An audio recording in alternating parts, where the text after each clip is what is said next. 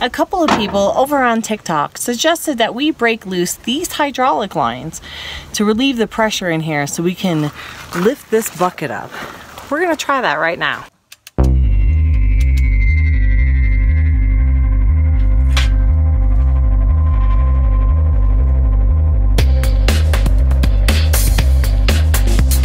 We'll see if this allows pressure to bleed off enough to get that bucket up one more foot.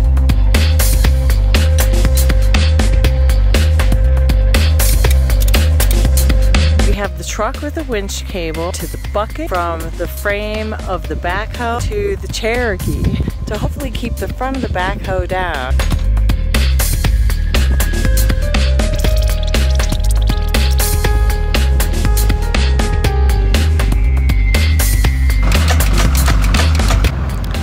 we lost the winch.